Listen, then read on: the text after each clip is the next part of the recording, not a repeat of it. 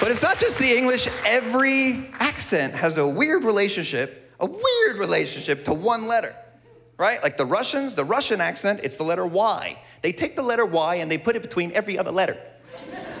Take any sentence like this traffic is unbelievable. They'd be like, this traffic is unbelievable. I cannot believe it. We've been sitting here for 15 minutes.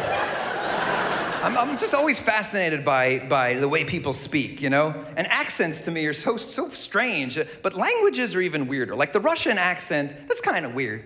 The Russian language, oh my God. You ever hear anyone speak Russian? It's like,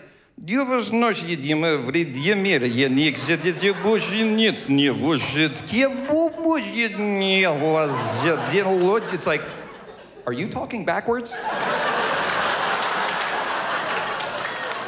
Russian literally sounds like English played in reverse with someone pressing pause and unpause every second. It's like,